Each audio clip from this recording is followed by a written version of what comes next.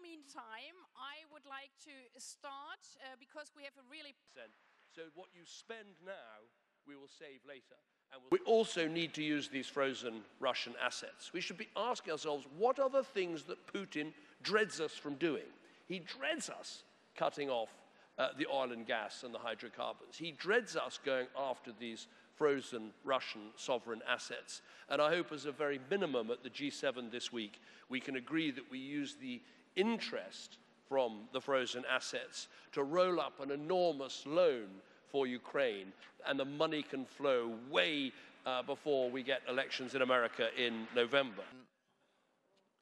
Italy, in the next days, The three billion pounds, four billion euros that we'll be investing in defense for Ukraine, that is this year, next year, and every year in the future for as long as it takes until Putin is defeated. And I think that's the approach we've got to take, making sure this money is not just this year and next year, it's how long it takes, whatever it takes. And the battle for the future, this reconstruction of Ukraine, is in, the, in many ways, it's the thing Putin most dreads. A generous contribution uh, to reconstruction. And as we've already said, the first strategy for the recovery, for the reconstruction, is to protect Ukrainian infrastructures, uh, Ukrainian buildings, through air defense system.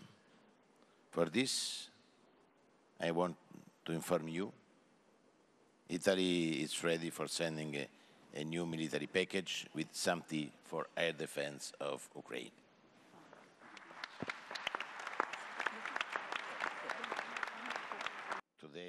We will sign a memorandum uh, with the Ukrainian government.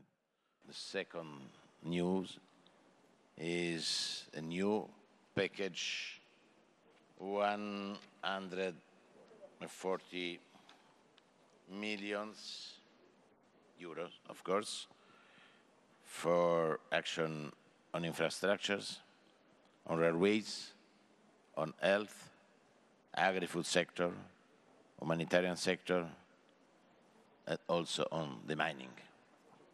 This is the new, is the last decision of Italian government country not only for the last uh, two decades, but especially since uh, the last two years.